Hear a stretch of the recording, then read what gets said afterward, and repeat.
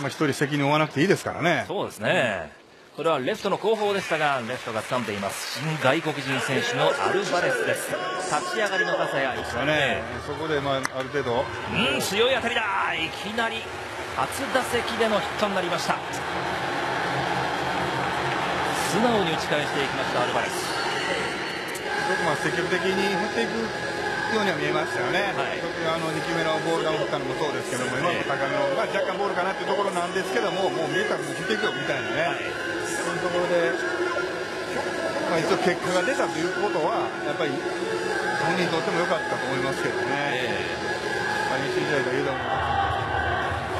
構えはもう本当そっくりです。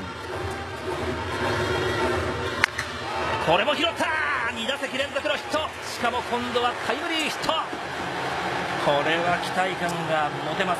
アルバレス。4点目のタイムリーヒットになりました。1